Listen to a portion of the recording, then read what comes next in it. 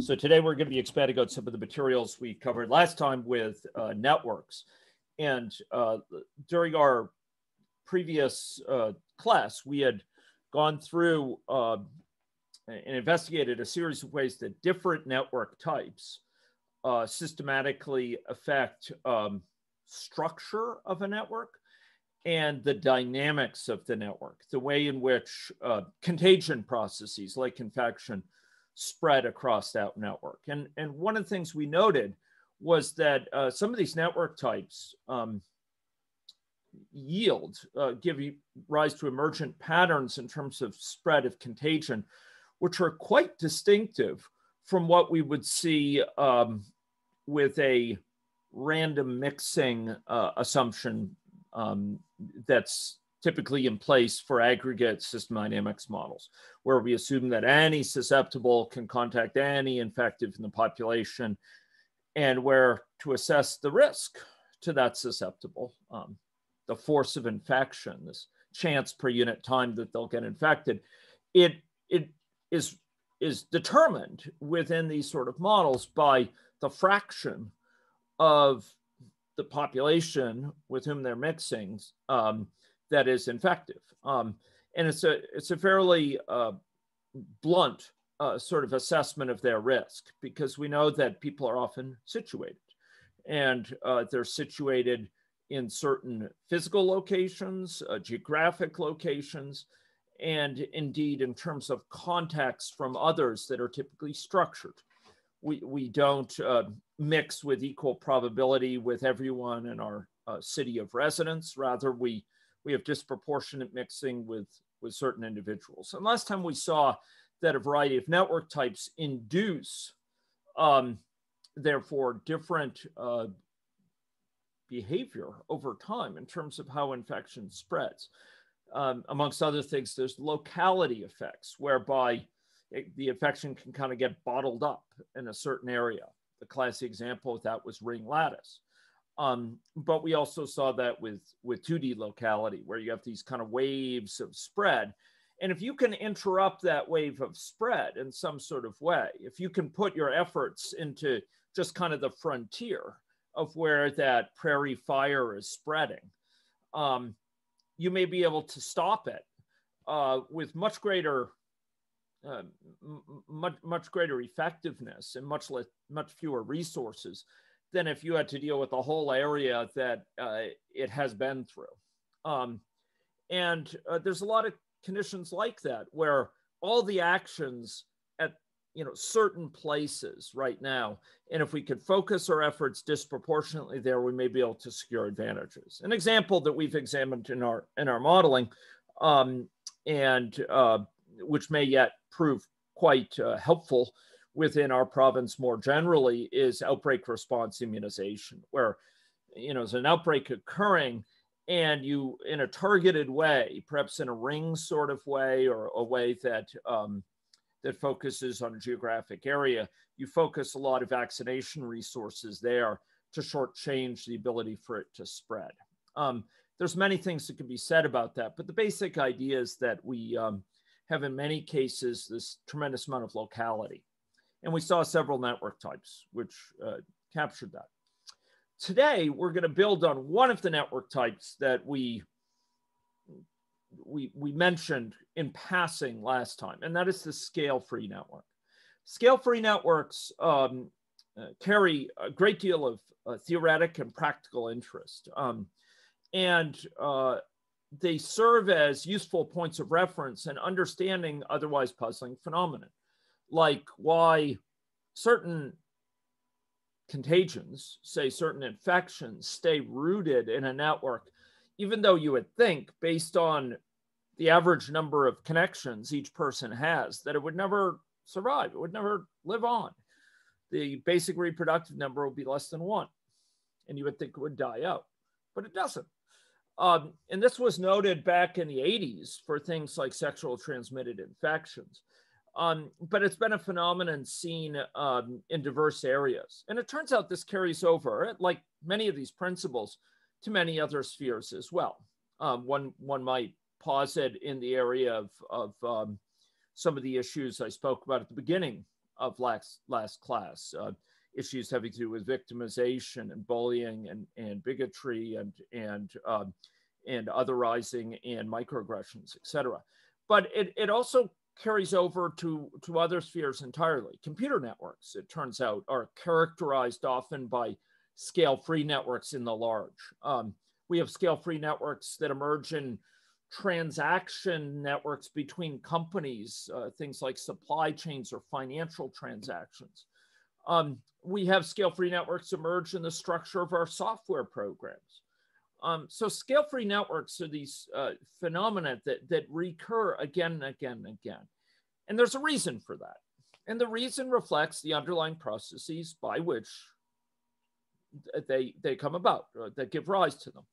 Um, and it's particularly uh, processes associated with preferential attachment um, uh, by which certain um, um, certain uh, individuals or companies or computers um, uh, who who have a lot of connections already uh, are added connections. And it turns out there's a dimensional structure by which um, that can lead to these sort of uh, scale-free networks pop out as well, um, in which um, the the very dimensions that characterize a problem, the fact that this is per unit time and that's people per, you know, per um, per vaccine, and, and this other thing is um, is characterized as um, uh, area.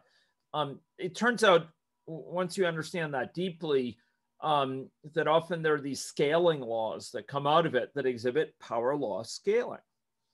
So, so these uh, and power law scaling is is a kind of hallmark of of scale-free networks. So we're going to see um, these characteristics of scale networks, bearing in mind that our motivating examples, as in many areas of this course, will be in in this health sphere, particularly this reference point of infectious disease spread, which is so uh, apt and timely right now. But bear in mind that these principles will carry over to many different spheres. So without, with that preamble, I'm going to switch over to, uh, to my slides. And specifically, um, we're going to uh, be examining two big aspects of scale-free networks.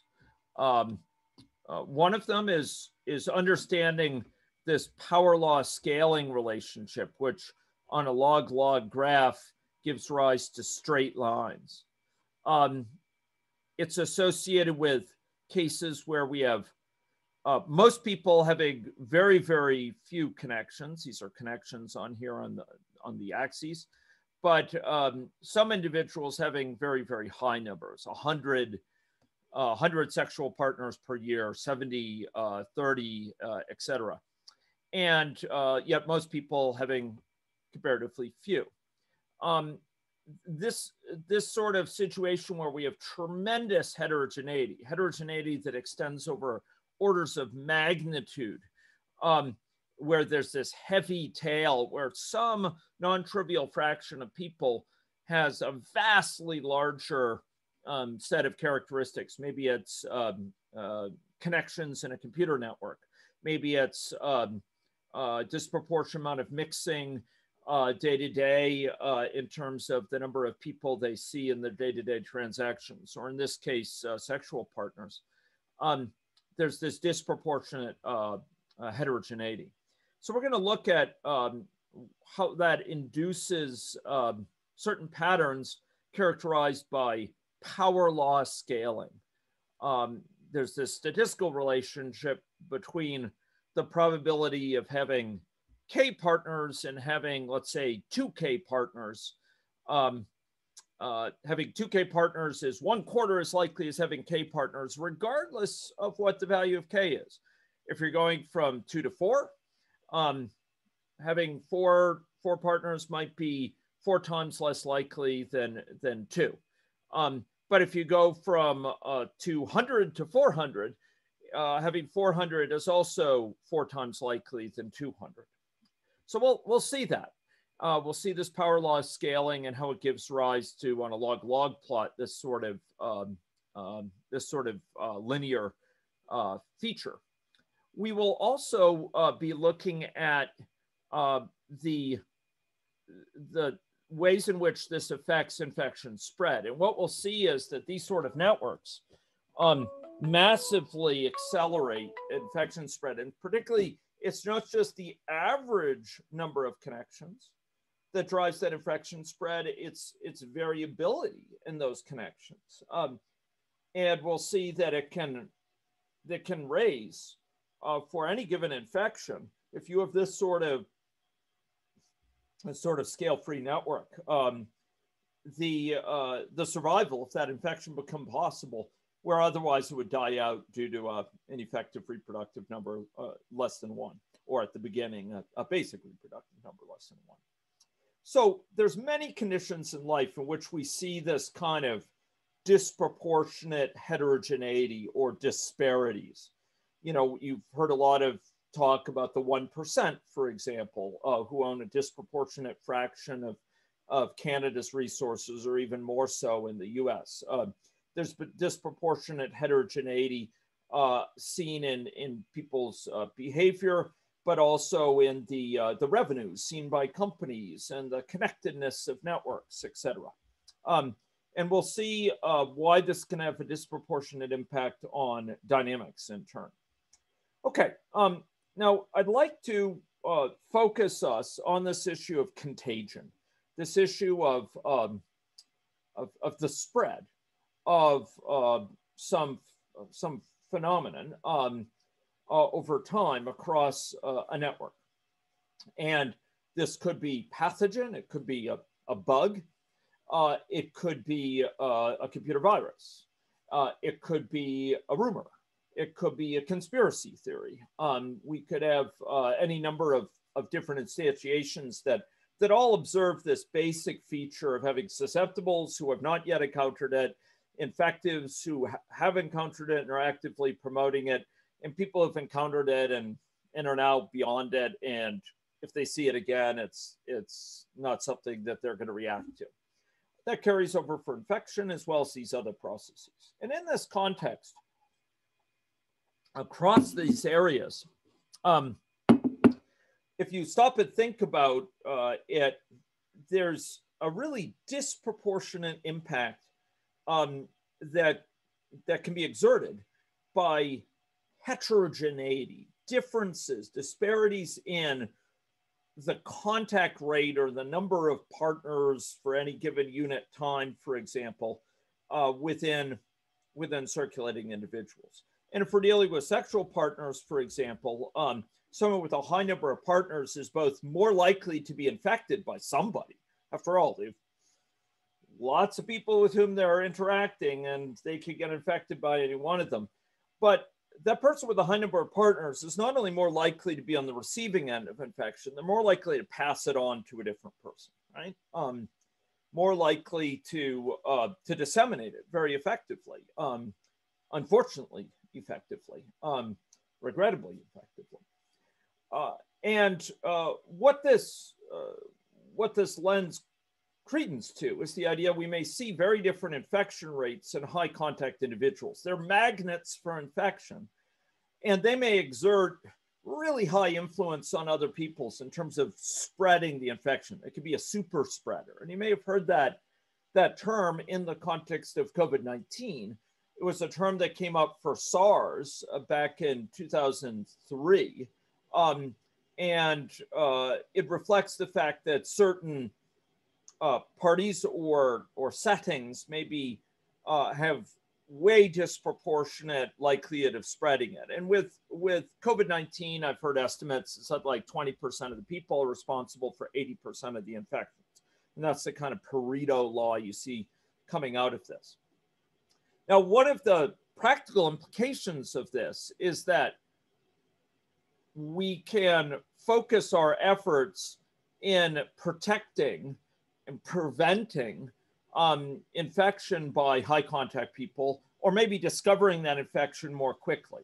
So if there's certain individuals who have very high rates of contact, maybe they need to get tested more frequently uh, or maybe they have to engage especially uh, well monitored uh, use of, of things such as uh, of masks and social distancing. So we're going to be looking at, at two broad uh, questions. What sort of networks account for the sort of patterns seen in these figures?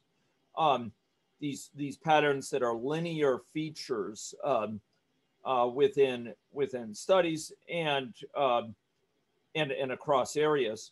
And secondly, um, how do they affect the dynamics and how do we characterize that using dynamic modeling? And, and we're going to, in fact, go back to to ODE models uh, to examine how it would affect our modeling of that. So scale-free networks um, were characterized uh, about 20 years ago in, a, in an incredibly influential paper uh, by Barabasi and, and Albert and, and uh, Zhang, um, which uh, noted these networks where there's most nodes have a relatively small number of connections. Um, if you look at these nodes around the periphery, they are uh, they are little connected. They have they have comparatively few connections, but there's a small number of nodes shown in red which have this really disproportionate number of connections. They're connected to a very large fraction, in this case, of all of all individuals in the network, or, or certainly a, substantial fraction. Um, so here, most nodes have a smaller number of connections. Think most people have a smaller number of, of, of sexual partners. That's what we saw here. Um, but a small number of people have very, very large numbers. Um, and uh, we sometimes describe this as having a, a heavy tail, meaning on the sort of right-hand side here, the tail goes on and on and on and on. You can't see it quite as much here, although I think there's some very small numbers down here uh, for for the um, out to like 50 or so. And and what that's saying is, you know, it's not compactly supported. It's not really tight distribution. It keeps on extending out in a way that um, that you know you could have um, the average person having two partners, one or two partners, but you might have some with 20, you might have some with 200. Um, and this heavy tail is much larger than what you would expect for something like if it were normally distributed, uh, according to a, a, normal distribution. Um, now, uh, it turns out that um, this phenomenon um, uh, has been studied quite a lot, and one of the patterns that comes out of this is what is known as power law scaling. Okay.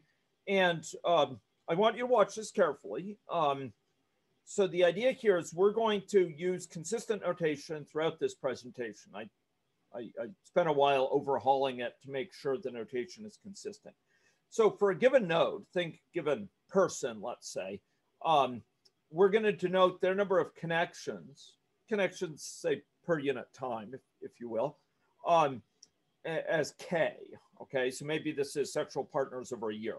Maybe it's um, a number of uh, people with whom they have contact uh, every six hours of the day. We'll see some data from Saskatchewan involving that. Um, uh, maybe it's um, the number of connections um, uh, with whom they share needles uh, every you know, every year. Um, but we're gonna we're gonna note their number of connections uh, as k for a given individual. And with power law scaling, the chance of a given individual having k partners is proportional to k, but to some negative exponent.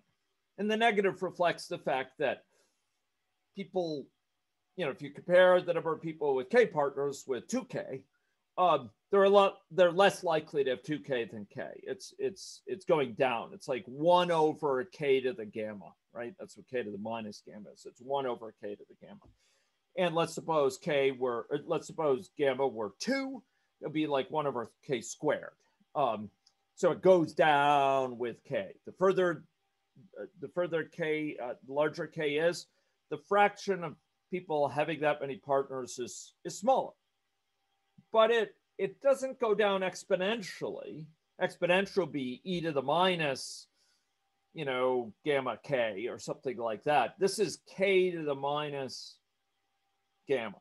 Okay. Um, So it's like one over k squared or one over k cubed. And in fact, for human sexual networks, uh, people have, have studied it, and, and, gamma seems to be between about 2 and 3.5. And you can actually see it uh, here, although this is um, uh, 1.6 here, and, and this is on the upper side, uh, uh, 3.3.3.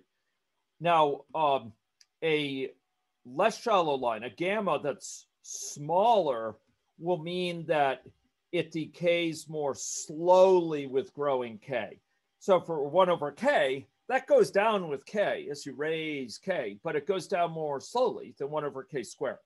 Uh, 1 over k squared, by the time you get into, you know, k equals 4, it's 1 over 16, right? Uh, whereas if it's 1 over k, it's 1 over 4. Um, it's four times larger. Uh, so in other words, uh, if gamma is smaller, is is is like uh, one or two, this is going to fall off very slowly as k increases. If gamma is really large, like five, it's going to fall off really quickly. It's like one over k to the five, and that gets big real fast as as k grows.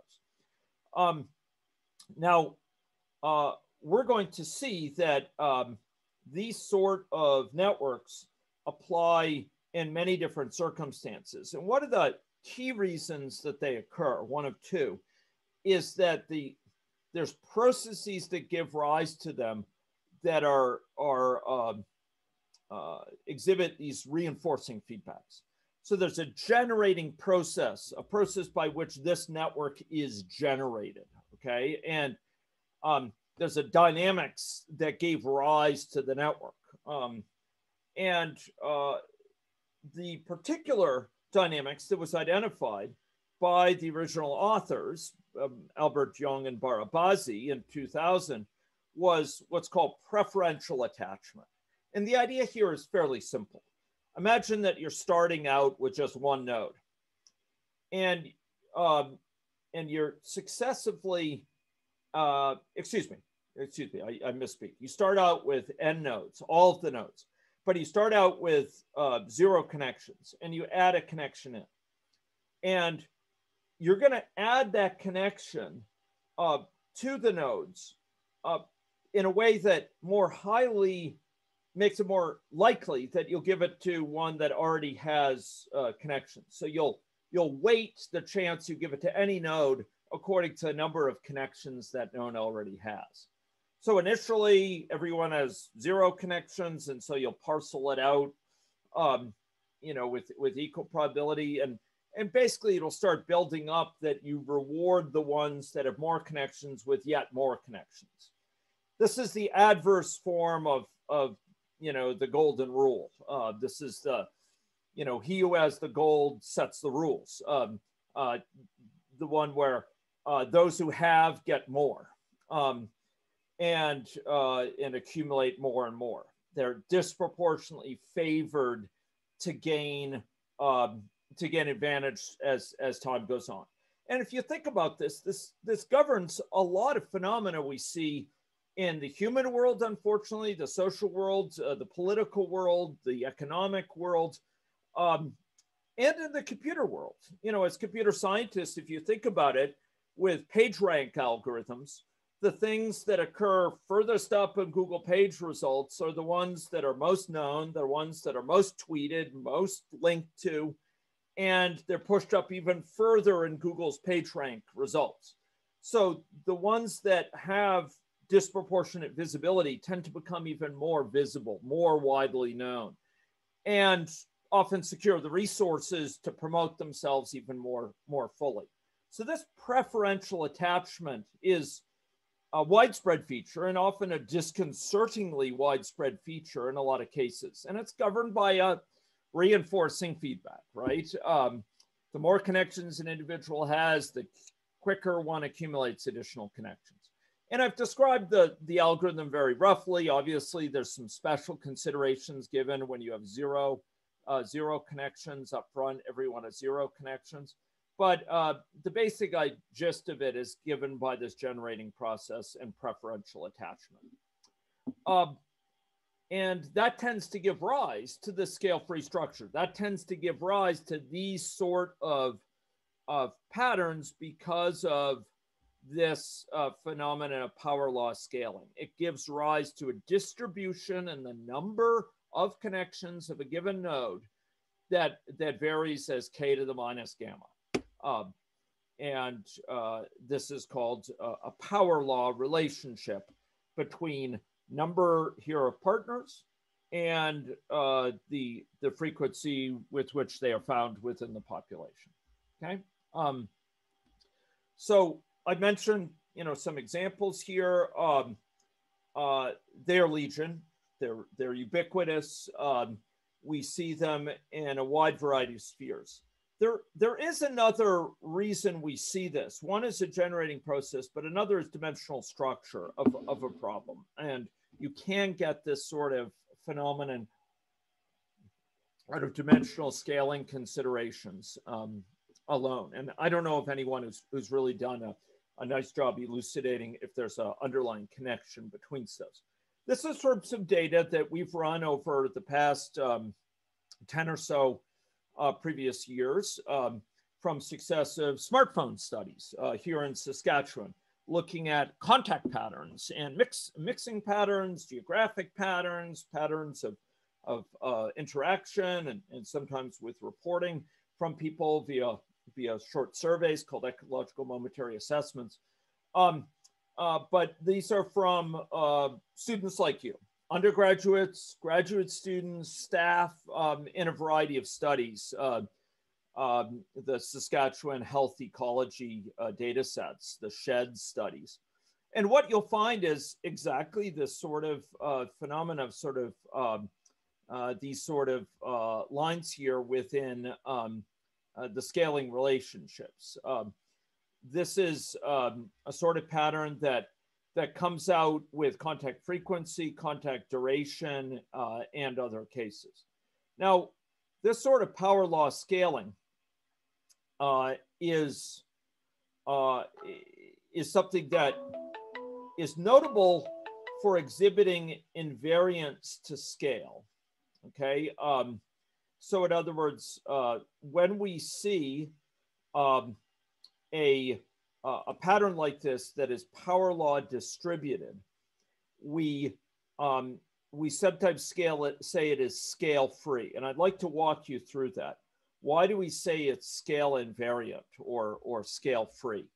Um, indeed, that name is lent to the very type of network structure. Um, well, one reason is uh, the, the main reason is that, look, consider the distribution. I said the probability or frequency with which an individual has k connections goes as k to the minus gamma.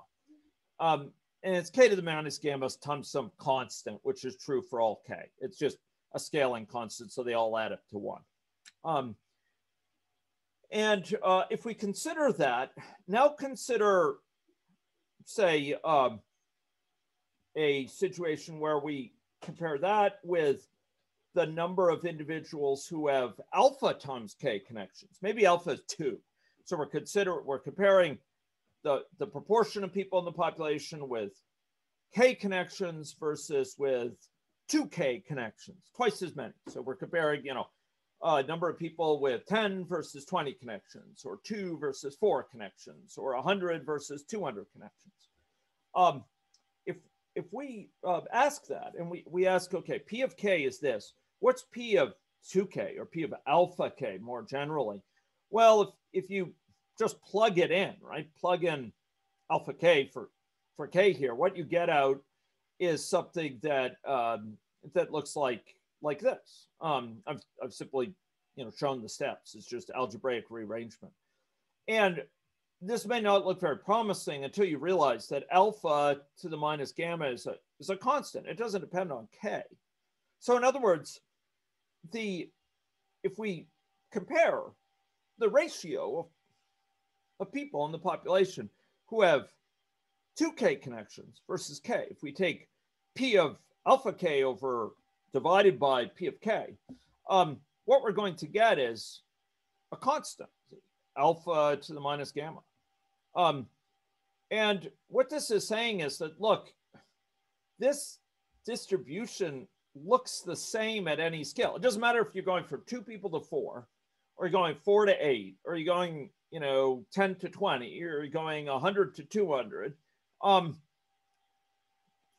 the, if you compare the relative fractions of people with the double number versus that number, 200 versus 100, it's the same for 200 and 100 as it is for two and or for four and two.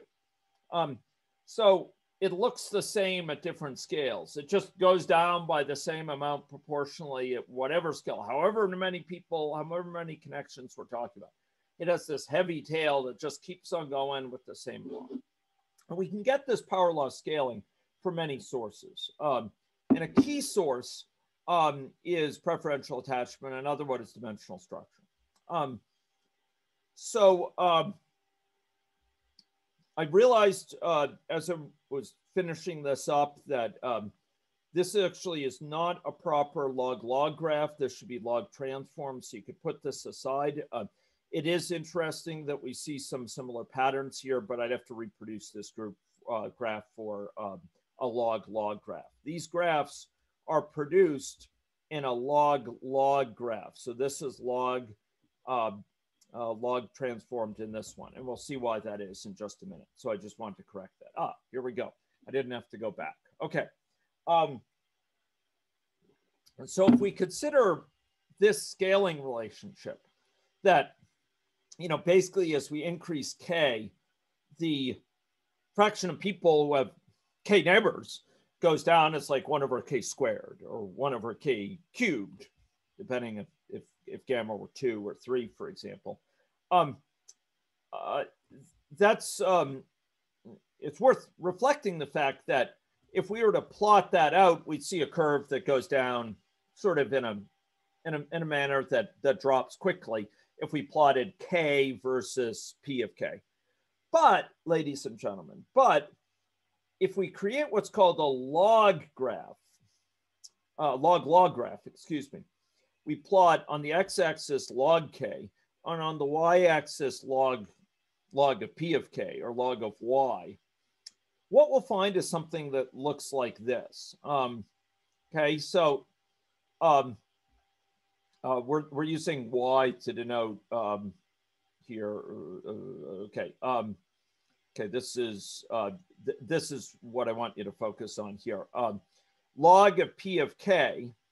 If we take the log of both sides, we get log of p of k on the left. And on the right-hand side, we get the log of this whole thing. And if you remember back to your high school logs, um, you'll you'll recall that this is this can be because it's the multiplication of two things. Um, we could take the log of c, and we can multiply it by the log of k to the minus gamma. And the log of k to the minus gamma in turn is minus gamma times the log of k, right? Uh, just like the log of k squared is 2, uh, 2 log k. So taking the log of this, this is what you get, okay? Um, uh, that, that's just this take, taking the log on both sides. And then we plot it. This is log k, and this is, uh, this says log p of k. So I'm, I'm going to label this, I, I was a bad boy and I should have um, uh, should have labeled this uh, better. Oh my gosh. Okay. Um, well, better better late than never and better Nate than lever. Um, okay, so here's log of P, of P of K and here's log of K. And you may wonder, why is that a linear thing? Well, look, uh, as log of K goes up, um, it's just multiplied linearly times gamma. So if we go twice as far out on log K, um, uh, gamma, uh, it's going down by that same amount, uh, gamma between them. So in other words, um, as we go out here, it's it's gamma times whatever on this axis. And this is just some constant, right? This is when log of k is zero or k is one, we have log of p of x equals log c. So this is a constant and it leads to this linear feature, just like this is this is like a minus b times x, right? So y equals a minus b times x. uh, it produces this linear plot. We just have x being log k and, and y being log p of x. So, so this is a signature of the power law. It yields a straight line, okay? Um, and, uh, you know, it, it relates to the scale invariance um, uh, that, that no matter if we double k when k is 2 to 4, or we double it from 100 to 200, we're always dividing p of k accordingly by some fixed factor. It's always a fixed factor. Um, and, you know, I provide some, some examples there. And, and so what looks to be a, a steep drop off, if you look at an unlogged transform graph, this is k itself, and this is p of k, basically. Um, when we log transform it, this is what we get.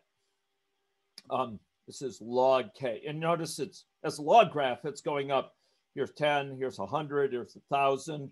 So going out by a fixed amount will multiply k um, by a fixed amount.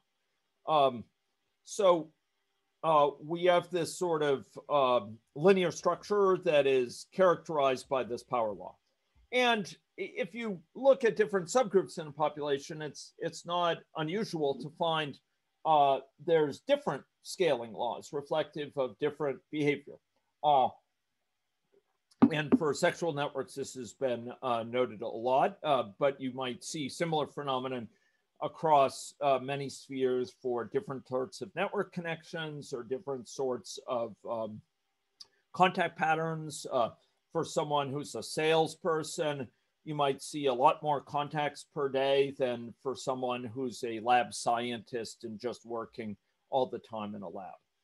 Now, this is interesting, but um, uh, one thing that you need to realize is that um, uh, that there's a um, uh, a challenge in applying this um, when gamma is too small. Now that that may not sound obvious, but but I'd remind you that if gamma is small, so this is k to the minus gamma.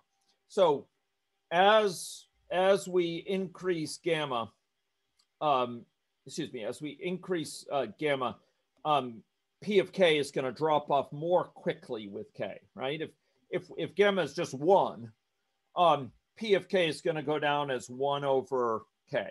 Uh, P of k will be dropping off as 1 over k. If gamma is 2, then P of k is going to drop as the square of k. So it's going to drop more quickly, right? And I said this earlier. If k is, if gamma is 3, it's going to drop off as 1 over k cubed very, very quickly indeed. Um, so, and it reflects the fact that, you know, 1 over k to the cubed is a lot smaller than 1 over k squared or 1 over 1 over k. Okay, um, no pun intended. Um, so um, it bears in mind that um, if you if you sum this up, after all, these are probabilities. Um, we could sum them up, and they should sum to one. Um, if we were to try to figure out what is that C factor that goes in front here, because we have P of K equals C times this. And I said C just makes it add up to one. So we're going to choose C so that when we multiply it, all these sum up to one as we sum from, from K equals one to K equals infinity, okay? Um, and if you consider that, um, uh, what this is, it's it's uh, one over um, one over gamma minus one. What this is, what this means is the probability distribution, P of K. Okay, this should be instead of X, it should be K. Oh man, um, sorry about that. This should be gamma minus one times K to the minus gamma. That's the probability distribution. Now, that's that's nice in theory, except that this blows up if gamma is one. Like if gamma is one, it doesn't go down at all, right? Uh, uh, or it goes down very slowly, I should say. It goes as down as one over k, and it doesn't converge Uh, this is something that um, uh, fellow student Jeff Foster posted something on um, some time ago, uh, very helpful. But um, basically, this sum doesn't add up to a finite thing if k is if sorry gamma is is one. It's only if gamma is greater than one that this actually adds up to a, a finite uh, value okay? So gamma equal to one is too slow. There's no probability distribution where it goes down as as uh, one over k to the one power it's only once you get uh, gamma above one that it that it can be a legitimate probability distribution.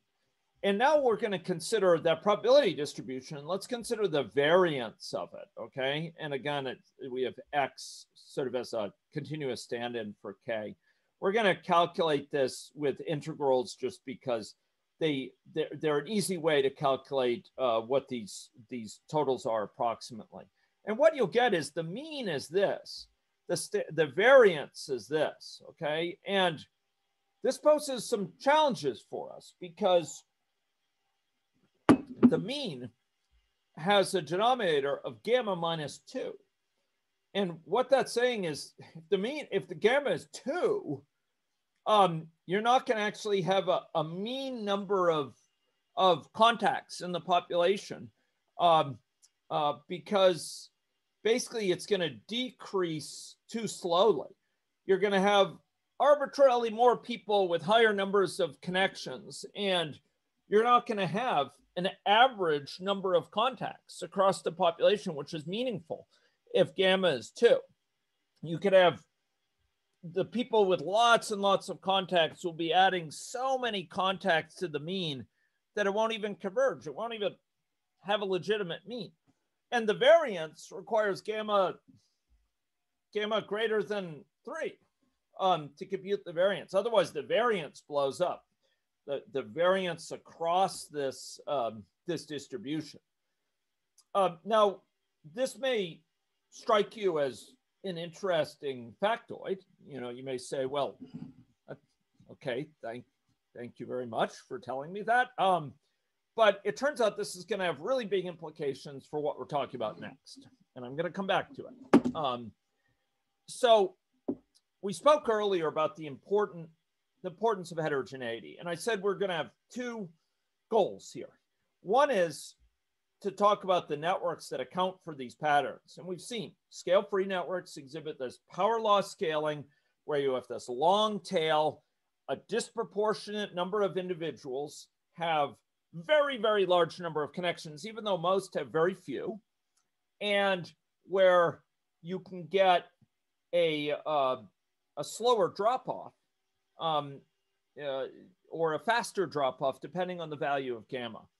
Uh, those, those sort of uh, networks uh, exhibit this sort of power law scaling that leaves the signature in the form of a log log graph.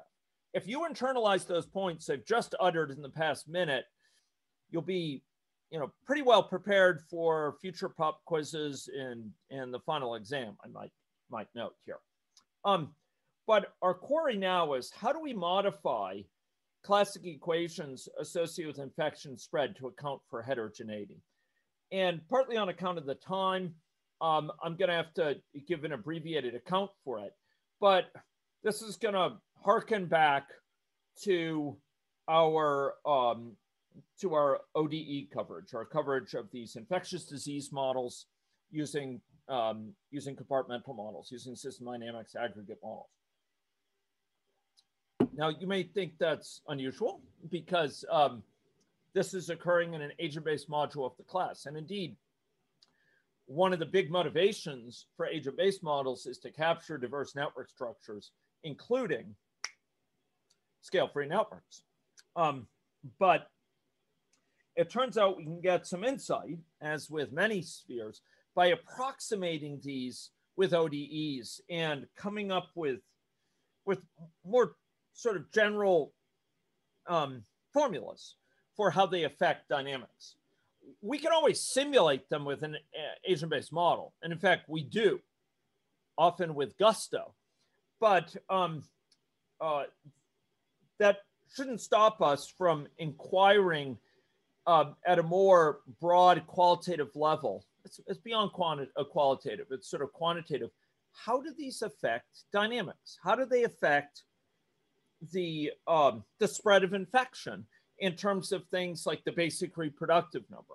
And it's for that purpose that we're going to be looking at these with this lens, bearing in mind that really agent based modeling is the very powerful tool. This individual based characterization is the very powerful tool for investigating um, how to intervene in those networks, um, the details of network dynamics, etc. We're going to be looking at a stylized representation, and it will perhaps broaden your thinking about what we can represent with um, aggregate dynamic models. So we're hearkening back to an earlier time, uh, many weeks ago, where we had uh, um, SIR models. And we're going to focus in on, on I here, the number of infectives. And you recall I dot is the rate of change, right? If it's if it's 10, it means 10 more people are infected per unit time. If it's minus 10, 10 fewer people are infected per uh, per unit time. Um, so I dot is the rate of change of, of the number of infectives. And we had this formula here, which was associated with this force of infection, C times I over N times beta, all times S. So C times I over N times beta is the chance per unit time a susceptible will get infected. And we multiply it by S. And, and the I and S term reflected the fact that it was nonlinear. And then we had this I over D term that reflected recovery. And D we're using as the mean duration of infection. Okay.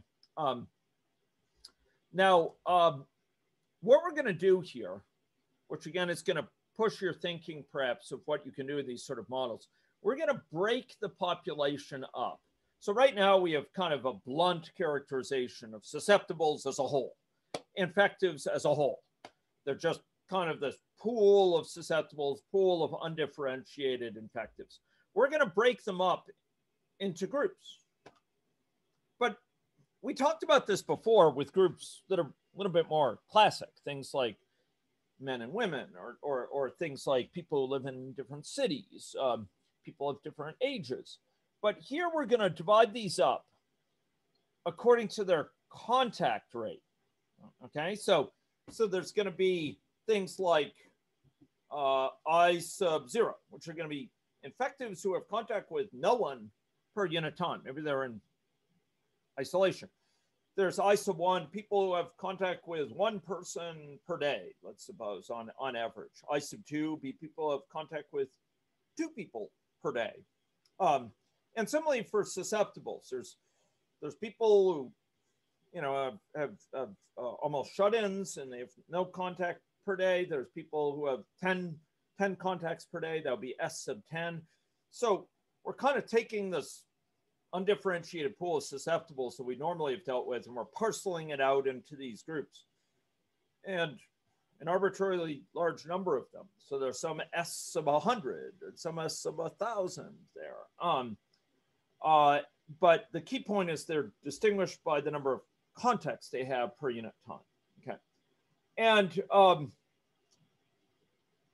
you know, at, at first blush, we, we might try to represent take advantage of dividing it up by taking this formula and dividing it up and say, okay, we're going to have a formula for each value of k.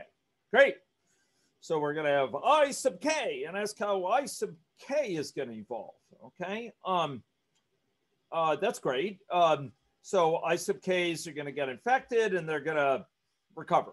So the recovery is pretty clear. It's i sub k over d. Great. Um, so if I sub k is 100 people, we're going to have some fraction of them. You know, if I sub 100 is, if, if, if there's 100 people with 50 contacts per day, I sub 50. Um, I sub 50 is equal to 100. We'll have some number of those 100 recovering per day. But those, if we think about infection spread from those people, what, you know, these are these are people with k contacts per day. So so surely what used to be just C, just sort of this, this, this overall constant contact rate, we can, we can take advantage of the fact we know, we actually know how many contacts they have per day. Um, uh, and we can reflect it in here. So this is like K per unit time. Okay. Now, sometimes we use um, a different way of, of, of measuring this. Uh, uh, so sometimes we actually modify the value of beta to take this into account, but often beta is just uh, beta here because we have K being per unit time number of contacts, in which case we could just write K and, and regular beta here. Otherwise, we, we could fold in a constant to beta. Okay. Um, okay. So, so this was our C, but now it's our K, right? Um, we, we, we're capturing the fact people with K contacts are more likely to get infected because they have contacts with K people. And okay, those K people, how many people of the people they have contact with are infective? Well, you might be excused for thinking, okay, well, we look, we we've parceled out all the people I into I sub zero, I sub one, I sub two, all these different groups by the number of contacts. We just add them up to get the number of infectives uh, over n. That's our fraction of infectives times beta. Um, and all of this then is the force of infection. But we're, we're, we're not taking advantage of the situation. We're ignoring some important things. First of all, we're assuming that these K people, when they contact others, that those contacts are equally likely to occur with a person who has one contact themselves as a person who has 20 contacts for themselves or 100 contacts. I mean, surely this person may have K contacts. Oh my gosh, this should be I sub J. Oh man, this should be I sub J. Um, uh, um, okay, uh, that's that's really bad. This is um, this is I sub J. Okay, I, I can't resist this. I'm gonna go in and and and fix it. Ignore the K. This is J there.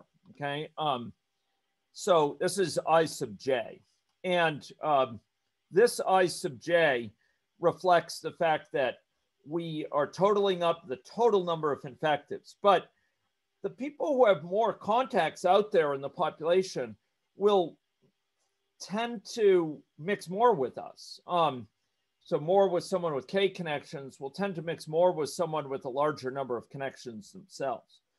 Um, and these people with higher numbers of contacts, these I sub J for really large J, are more likely to be infected as well. Okay, so um, so that's another thing that we're currently ignoring, and um, we're going to see if we can uh, remedy both of those in the coming minutes. There's a nice way to um, to to paint this with a background color. There it is. Okay, uh, let's just uh, okay. The K goes away. Um, uh, okay, or OJ um, IJ. Um, okay, so let's uh, let's revise this formulation. Okay, um, here we're going to take into account what we just said. Um, we're going to take into account not the fraction of people that are infected, but the fraction of contacts that occur with infected people, with already infected people. So we're trying to figure out how many people in, with K contacts get infected. And what we'll do is we'll, um, we'll, we'll figure out each of these people with K contacts is mixing with K people per unit time. Those contacts per unit time are disproportionately with people who, who have large numbers of contacts. And one nice way to do it is ask, well, look, let's let's talk about not the fraction of people in the population that are infected, but the fraction of all contacts occurring in the population that are occurring with infective people. So each of these people in the population, um, say these N sub J people in the population is having J contacts total. And some number of people in the population are, are infected already and, and, and I sub J will have J connections. And so this is the, the fraction up here of the um, of the of all connections which are occurring with people that are infective. Okay, so these sums are over now contacts occurring in the population. And these are contacts with infectives in the numerator and contacts with in the denominator with anyone. Um, and so the quotient uh, uh, of this is the fraction of all contacts in the population that are made by infectives. So maybe this I sub k, this person, we're trying to figure out how many people with uh, with K connections are going to get infected. How many of these S's are going to get infected? Well, they have contact with K total people. Of those contacts they have with K total people, these are the number that occur with infectives. These are the fraction that occur with infectives. And then we multiply by beta. Um, okay, so um, uh, here we have the uh, a correction which takes into account these factors. We're taking into account the people who are have higher number of connections will have disproportionate um, likely to being mixed with, and, and they can have different uh, uh, rates of infection, prevalences of infection. And uh, we are taking into account that this person's, this susceptible's K connections are occurring disproportionate or are occurring disproportionately with people with large numbers of connections. Okay. Um, okay. Um, mindful of the time, I'm just going to uh, jump to the chase here. So it turns out that if you do this um, and you go through some algebra, which is fun to go through, uh, I did it one weekend and, and it's a lot of fun. What you can get out is a formula that looks like this. And, and the basic idea is we're, we're, we're formulating this as kind of a rate of change of the force of infection here. Okay. Um, and the force of infection um, uh, is changing um, uh, in a way that's described with with this uh, equation, and um, this is basically reflective of uh, a, a, factor that that will say, you know, to what degree is the force of infection growing over time? If this is greater than one, um, uh, lambda dot, uh, excuse me, if it's greater than zero, lambda dot is going to be growing. If it's less than zero, lambda dot is going to be shrinking. It's going to be lambda dot is negative. Uh, if this thing is greater than zero, lambda dot is positive.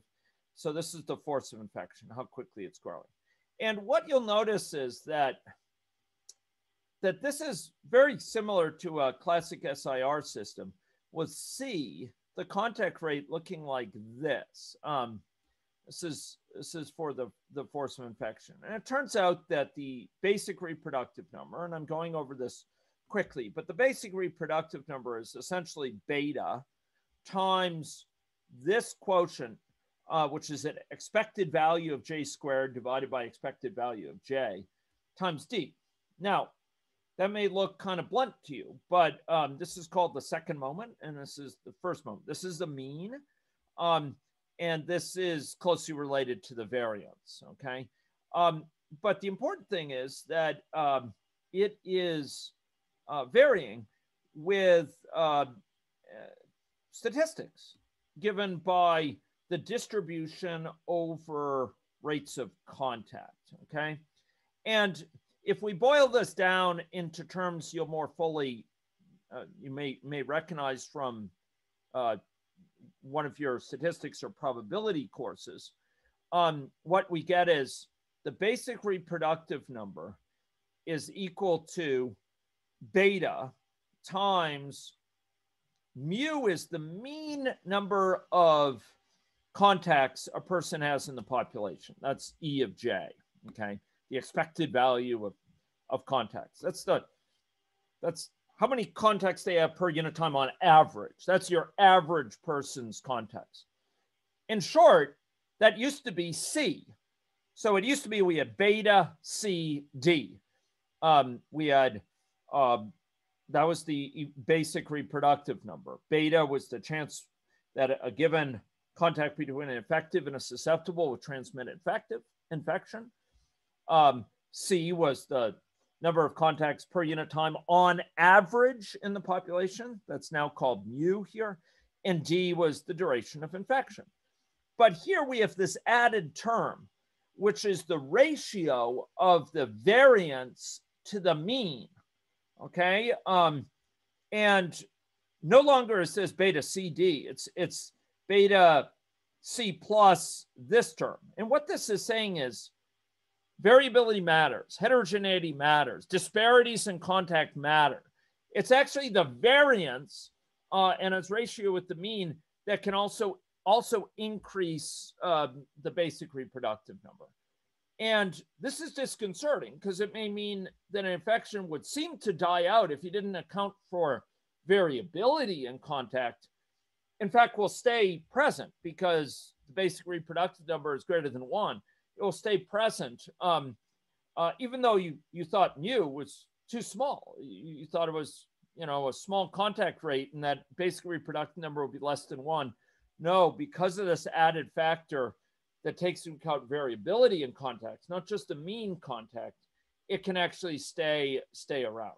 Um, okay. Um, now, uh, it turns out that that this has really big implications um, when we have scale-free networks, because as you may recall, and if I had had presence of mind, I would have had the slide there. I rearranged the slides earlier.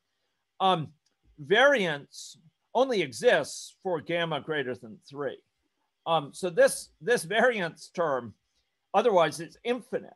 So if you have a scale-free network with gamma less than three, um, in theory, you have a, if it's truly a scale-free network, you have an infinite basic reproductive number. Now, if that's not scary, I don't know what is. Now, realistically, there's limits, right? Um, uh, there are there are limits to how many connections people could have through packing, um, uh, through limits on human behavior, and uh, what this does mean though is to the degree that our data on people's contact patterns is governed by basically scale-free laws. Um, we need to really worry about not just the average person, but the people on those tails, the people way out here who have disproportionate numbers of connections. We don't have to just worry about your average population member in, in, in here in Saskatchewan with respect to spreading COVID. We have to worry about the super spreaders, the social butterflies, the people who, because of essential jobs, mix with lots and lots of other people. Those people could be the tail that wags the dog. Those people could uh, end up suffering disproportionately from COVID themselves and could spread it. And we have to protect them. And we have to have a system which is designed to try to find infection as quickly as possible and, and prevent the bug where possible from getting to them. So, what this is saying, big picture, is that variability matters. The mean is not enough. And particularly when you're dealing with scale free networks, dealing with your average case, you know, your average member, you're going to be you're going to be misleadingly thinking it's a mild situation that the average person has very few contacts. It's the tail that wags the dog that will often dictate the behavior, like whether the bug survives. It's this variability. It's the fact that some people have way disproportionate number of connections that that dominates and that will lead the infection to staying present instead of dying out. And indeed, we see this phenomenon in, in uh, quite a few infections where you would think it would die out based on the average number of connections because that doesn't get at the heart of the issue. The heart of the issue is these hubs. The heart of the issue is these people with, with disproportionate uh, connections who are often disadvantaged in life, often put in positions of victimization in life, um, not feel, for example, sex workers who can't go to the government uh, because they're free, they're afraid of, uh, of deportation or of um, criminal penalties applied to them, and and that are forced into uh, to work conditions which require very large numbers of connections. For example, uh, connections way out here. It's often those people on the on the um, uh, who are at the margins of society that are at the core of the network um, and that have this disproportionate impact.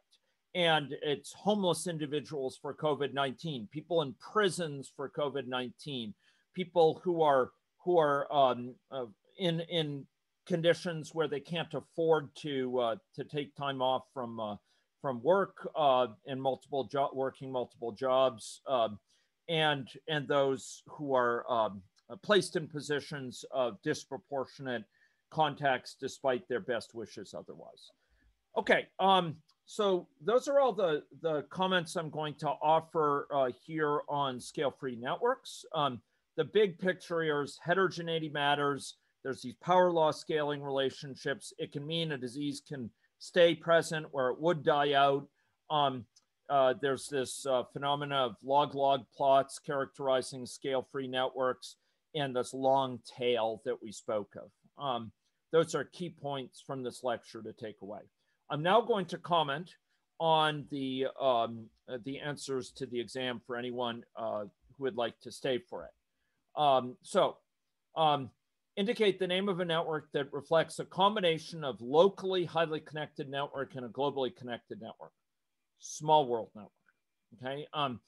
Uh, a ring lattice is purely locally connected. Um, a random network is globally connected. So is the scale-free network. But the type we talked about, there was a mixture between the two, literally. Like 95% of my connections were local, 5% across the network is called a small world network. Okay. Um, and it reflects the fact that even with just a small proportion of those connections, I can have a um, situation which is not badly approximated by a random, um, a Poisson random network, random mixing. Um, what's what does lock-in mean in the context of dynamic systems? Lock-in describes situations where, and I'll describe in a couple ways. Uh, uh, it's easy to avoid a state or easier to avoid a state early on, but once it's reached, once you get into that state, it requires much greater effort to escape from it. Situation where it's easier to prevent something than to remedy it. Um, um, you through early investment of activation energy, you can escape it, but once you're sucked into it, um, you need a lot more energy to to get out of it there's a lot of situations in like uh, like this in life uh, cycles of poverty cycles associated with addictions and and substance use um, cycles associated with um, uh, lack of uh, lack of um, taking advantage or being able to take advantage of educational opportunities that are that are characteristic of this there's lots of these lock-in phenomena um, uh, describe the function of calibration in the modeling process. Calibration is basically a process of trying to find plausible values or I'll accept ranges for parameters by matching, and this is the key thing, matching model output against empirical data or otherwise known facts. Uh, so basically you're estimating parameters by finding the best match, um, the, the parameters that allow the model to best match um, uh, observed uh, emergent behavior from, so between model emergent behavior and observed data from the world. Um, uh, true, false. Uh, suppose you have a person, in an agent-based model, and AnyLogic is description contains a state and a state chart that has a rate transition with a rate of one per day if the person leaving the state. Is it true that this person is guaranteed to leave the state within one day's time? The answer is no. It's a probability per unit time. It's not a probability. A probability of one will mean you're guaranteed to get out. It's a probability per unit time. What it does mean is that you will leave on one unit of time on average. Um, but there'll be some people leave before it. There'll be, but there'll also be many people leave after it. This is just a mean of one. And um, so uh, a rate transition will lead uh, to uh, to some people leaving after it. Not everyone who leaves will leave before time one. If it were a timeout transition in AnyLogic, that would be associated with a stiff um, um, uh, impulse distribution, a Dirac delta function. It says everyone leaves at exactly one time unit. Um, but that's another matter. This is a rate transition. Okay important difference in system dynamics uh, between um, most system dynamics uh, models and agent-based models that affect sensitivity and calibration. Um, I had in mind first and foremost the presence of stochastics, these randomness over time, and both sensitivity and calibration need to take that into account at some level. But I'll accept some other answers. For example, much longer runtime with ABM models traditionally. Um, also, uh, ABM's traditionally have a greater number of parameters. There's more degrees of freedom, more moving parts as far as uh, changed assumptions. Um, I'll, you know, I'm inclined to be a, a little bit generous with that. Um, uh, okay, a type of dynamic modeling when given a characterization of population, if you add a distinction between people, they're born in Canada or not, um, uh, what sort of modeling would be subject to a doubling of model space requirement and runtime requirement? The answer is aggregate system dynamics models. Um, and uh, the same answer applies actually to seven. Uh, aggregate system dynamics models or system dynamics, fine. Doesn't have to, you don't have to say aggregate if you don't, because um, it's the typical, it's a type of dynamic modeling in which doubling the size of the population will leave the model runtime essentially unchanged. So the soundbite here, the slogan, system dynamics models, um, invariant to population size, but they really um, scale poorly with uh, capturing heterogeneity differences. Agent-based models, um, uh, their runtime is directly and typically at least linearly impacted by population size, but they tend to be rather little impacted by heterogeneity in terms of runtime and, and space, uh, space requirements. So those are the answers to the questions. I'd be glad to answer questions about my answers um, during office hours in just a few minutes, but I hope that uh, review is useful. Thank you very much. Oh my gosh, I was recording that too. Well, I, I suspect you may not uh, regret that in time for the final. Okay, uh, thanks very much.